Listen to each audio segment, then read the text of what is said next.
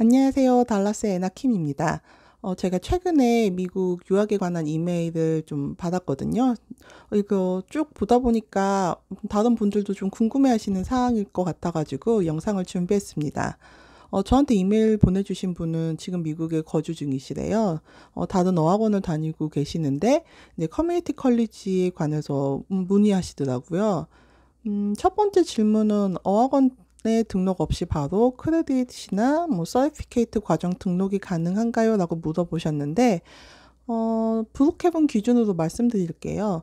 학교에서 요구하는 어떤 영어 성적, TOEFL 점수라던가 뭐 학교 내에서 보는 어떤 수학 능력 시험 같은 거 있잖아요. 이제 그런 점수 잘 받으시면은 가능은 하세요. 근데 multicultural center advisor들이 권하지는 않아요. 한 학기라도 이제 학교 다니면서 5학년 수도 학교 다니면서 좀 미국 문화도 적응하고 학교 수업을 이제 준비하는 것도 좀 했으면 좋겠다 해서 이제 많이 권하는데 많이 권하는 것이 약간 강압적이에요. 그래가지고 저랑 같이 공부 시작했던 친구들 중에서 뭐 호주에서 생활했던 경험도 있고 아니면은 한국에서 영어 준비 많이 하고 와가지고 점수 다 우수했는데도 불구하고 한 학기 정도 5학년 수 한 다음에 이제 컬리지 수업으로 넘어 간 친구들이 꽤 있었어요. 어, 처음에는 이제 유학생 입장에서는 시간도 아깝고 돈도 아까우니까 그 한 학기라는 시간을 5학년 수 다니는 게 굉장히 불필요하게 느껴진 것도 솔직히 사실이거든요. 근데 막상 나중에 시간 지나고 나서 보니까 그 한 학기가 꽤 괜찮았던 것 같아요. 예를 들면은 뭐 그 미국 친구들하고 사귀는 것 같은 거 왜냐면 community college에서 college 수업을 들으면 친구 사귈 기회가 정말 없어요. 그러니까 어학연 수 할 때는 좀 아이들이 여유도 있고 서로 좀 돕는 느낌도 있고 영어가 서툴러 서툴러도 어차피 다 같이 서투니까 좀 친해지기 쉬웠는데 college로 넘어가면은 아이들이 이미 거의 다 native 같은 경 native인 경우가 굉장히 많고 또 유학생들은 되게 좀 삶이 퍽퍽해져요. 왜냐면 영어가 아직은 그렇게 원활하지 않은데 이 컬리지 수업을 따라잡으려니까 굉장히 힘들고 아이들이 좀 심신이 지친 상태입니다. 그렇기 때문에 컬리지 수업 가가지고 들으면서는 친구 사귀는데 어려움이 있더라고요. 그래서 저 같은 경우는 어학연 수를 1년 정도 하면서 친구를 좀 많이 사귀었고 그 친구들 중에서 이제 같이 컬리지 수업을 같이 이제 시작하는 친구들이 있어서 좀 많이 의지가 됐거든요. 그래서 그런 면에선 어학연수 듣는 거 상당히 네, 도움이 된다고 생각해요. 그리고 또 한국에서 온 친구들 중에 그 미국에서는 어떤 그러니까 과제를 작성할 때 그 출처를 반드시 밝혀야 돼요. 그래서 reference를 반드시 써야 되는데 한국에서 온 친구들 중에서 몇 명은 설마 이렇게 사소한 것까지 내가 뭐 뭐지 어디서 이거를 써 가져왔는지 말을 해야 되나 이런 생각을 하다가 이게 reference를 안 citation 같은 거 표시를 안 해가지고 위원회에 불려, 불려간 경우 굉장히 많아요. 그러니까 미국에서는 이 표절이라던가 인용에 관해서 생각보다 상당히 엄청나게 엄격합니다. 그렇기 때문에 뭐, 뭐 과제 몇 줄 쓰는 거에 뭐 한 줄 정도 뭐 조금 뭐 이렇게 어디서 뭐 갖고 와서 썼다. 안 걸리겠지라고 생각하면 큰일 나요. 왜냐면 이게 자체 도 프로그램이 있어가지고 거의 100% 잡아낸다고 보시면 됩니다. 그렇기 때문에 하, 어, 한, 미국에서 어떻게 community college, 그러니까 college 생활 어떻게 해야 되는지 그런 것들 이제 어학연수 뭐 4단, 그러니까 1, 2, 3, 4단계 중에서 4단계면은 거의 대학교 수업처럼 좀 강도 높게 가르치거든요.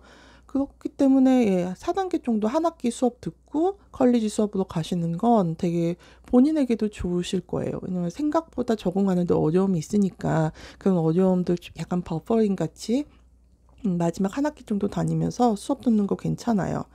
근데 만약에 이미 다른 곳에서 어학연수 하고 계시고 어, community college 음, college 수업을 따라가는데 자신 있다 하시면 에, 그 advisor에게 강하게 어필하시면은 college 수업 바로 들어가시는 거는 예, 음, 정당합니다. 그 학교에서도 그 자격 조건만 넘어가면은 예, 받아주게 돼 있어요. 그렇기 때문에 일단 advisor를 직접 찾아가서 문의하시면은 알 수 있을 것입니다. 그리고 아 F1 비자를 제공하냐고 물어보셨는데 학교에서 비자를 제공하는 건 아니고 학교에서는 I-20라는 서류를 이제 제공하죠. 브룩헤븐 community college, 그러니까 달라스 community college에서도 이 I-20 비자에 발급합니다. 유학생들을 위해서. 그렇기 때문에 예, 비자 받아 받, 음, 그걸 이용해서 이제 비자 받으실 수 있고 아마 지금 미국에서 어학연 수 하고 계신다면은 유학생 비자 받으셨을 거예요. 그럼 유학생 비자는 이제 비자도 계속 가지고 계시는 거고 아마 학교로 옮기시면 I-20 그 서류가 바뀌실 거예요. 그래서 I-20 발급되는지 물어보시면 돼요. F1 비자 발급되냐고 물어보면 학교에서 답을 안 해줄 거거든요. 왜냐면 그런 부분에 대해서 좀 모르면은 대답을 안 해줘요. 그렇기 때문에 질문 사항이 조금 더 정확을 정확해야 돼요. 그렇기 때문에 I-20 international student를 위한 I-20가 발급되는지 아니면은 지금 다른 어학원을 다니고 있는데 어 그 community college로 transfer할 경우 I-20 재발급되는지 이렇게 물어보시면 학교 측에서 대, 대답을 정확히 좀 해주실 수 있을 거라 생각됩니다. 음, 저 같은 경우는 associate degree 과정 2년 했어요. 그러니까 어학연수 1년 하고 그리고서는 associate degree 과정으로 넘어갔죠. 2년인데 사실 빨리 하면 한 1년 반 정도? 가장 빠르게 한 친구는 제가 아는 친구는 겨울 학기에 이제 첫 시작을 한 거예요. 겨울 학기 한 5주, 6주 정도 되게 짧잖아요. 그래서 겨울 학기 하고 봄 학기 하고 여름 학기 하고 가을 학기 하고 다시 겨울 학기 하고 그래서만 1년 2개월, 1년 3개월 만에도 associate degree 따가지고 한국 돌아간 친구도 봤어요. 좀 힘들긴 해요. 수업 빡빡하게 들어야 되고 거의 방학 없이 쉬는 시간 없이 쭉 수업을 들어야 되긴 하는데 만약에 미국에 체류할 수 있는 시간이 길지 않으면은 이런 식으로 빨리빨리 들어도 유학생도 가능하거든요. 그렇기 때문에 수업 빨리 들어가지고 이제 한 1년 남짓 수료해서 이제 associate degree 취득해가지고 한국에 돌아갈 수 있죠.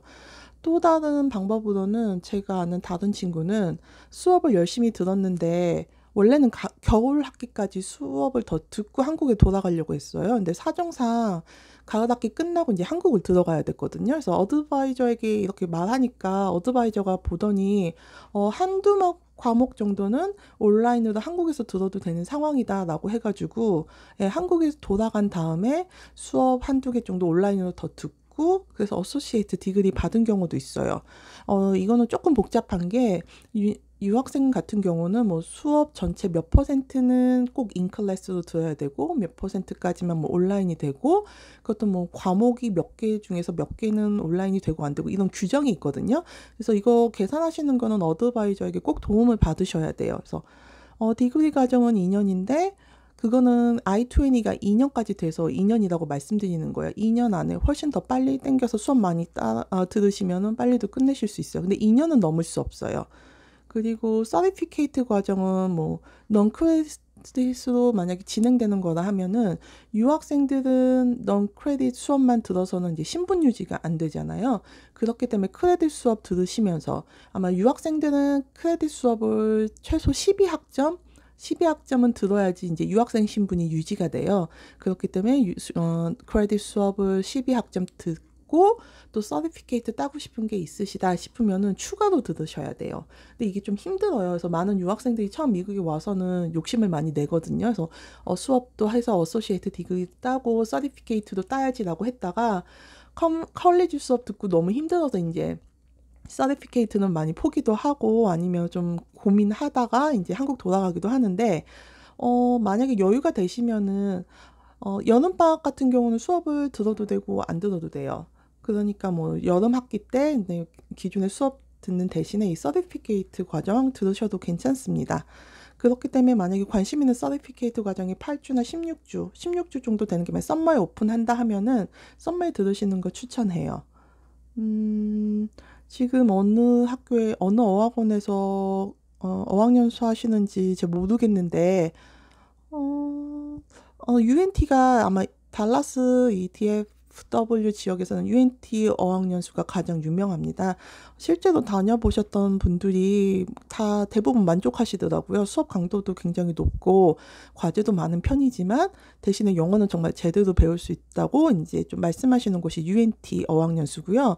커뮤니티 컬리지 어학연수는 사실 많은 분들이 큰 기대는 안 하세요. 근데 대신에 기회는 정말 다양하게 주어져요. 저 같은 경우는 뭐 거의 정말 한 100% 중에서 200% 활용했다고 할 만큼 많이 이용했어요. 왜냐면 그 이유 중 하나가 제가 차가 없었어요. 차가 없어가지고 음, 아침에 막 9시 정도 이제 학교 도착해서 수업 듣고 저녁 7시까지 학교에 있어야 됐는데 상황이 그러다 보니까 뭐 학생회도 들어가 가지고 뭐 학생회 임원을 한 건 아닌데 학생회 회원으로서 뭐 활동 같은 것도 하고 뭐 리더십 클럽 같은 거 있으면 그런 것도 가입하고 그리고 뭐 근처에 있는 학교 투어 있으면은 그 UNT나 뭐 UT 달라스 같은 경우는 차를 이제 음, community college도 보내요. 그 학교 투어를 위해서 뭐 그런 것도 참여하고 꽤 재밌게 시간을 보냈어요. 그래서 어학연수 기간 동안에 좀 다국적인 친구들도 사귀고 그런 미국 어떤 문화 같은 것도 알 수 있는 기회도 많이 접했고 그렇기 때문에 어떻게 보면은 community college에서 어학연수 하는 거는 정말 비용 대비 효과 굉장히 좋다고 저는 보고 있기 때문에 많은 분들께 좀 추천하는 편이에요. 왜냐하면 한국에 계신 분들이 미국 유학하면은 돈이 많이 들 거다, 뭐 저 생활이 힘들 거다 이런 식으로 이제 많은 오해하시는데 달라스 community college 굉장히 학비 저렴하고요. 또 지금 달라스에 솔직히 한인분들이 사시기 굉장히 좋아요. 뭐 음식 때문에 힘드신 분들 아니면 뭐 의료가 걱정되시는 분들 별로 걱정할 게 없는 게 거의 뭐 LA보다는 지금 이 달라스의 곱창집이 더 맛있다고 소문도 났고 뭐 한인 식당 웬만한 거 다 있고요. 한인마트도 꽤 큰 편이고요. 그리고 한인 병원, 그러니까 한인 클리닉, 그러니까 치과라던가 가정의학과, 산부인과, 정신과 그래서 웬만한 좀 의료 진로는 어려움 없이 한국어로도 다 받으실 수 있거든요. 그래서 저는 달라스로 어학연수 오는 거 굉장히 추천합니다. 어, 학교 튜이션도 싸기도 하지만 생활하기도 굉장히 좋고 아마 동부나 서부에 비해서도 전반적으로 물가가 저렴한 편이에요. 그 기후도 나쁘지 않아요. 좀 여름에 요즘 덥기는 한데 대신에 겨울에도 그렇게 춥지 않다는 게 춥지 않다는 게 굉장히 큰 장점이에요. 그래서 저 같은 경우는 여름에 덥지만 되게 음 습하지 않고 이 건조하고 그리고 또 어딜 가나 에어컨 많이 이제 작동하니까 에어컨 많이 사용하니까 의외로 시원해서 견딜만 하고요. 겨울에 눈이 뭐 한 일주일이나 이주일 정도 오기는 하는데 그 기간 말고는 굉장히 좀 따뜻한 편이에요. 한국 날씨도 생각하면 그냥 뭐 초가을 정도? 좀 시원한 가을 정도의 날씨가 달라스에서는 겨울 날씨라고 보면 되실 거예요. 그렇기 때문에 저는 이제 달라스 지역으로 유학 오시는 거 굉장히 추천하죠.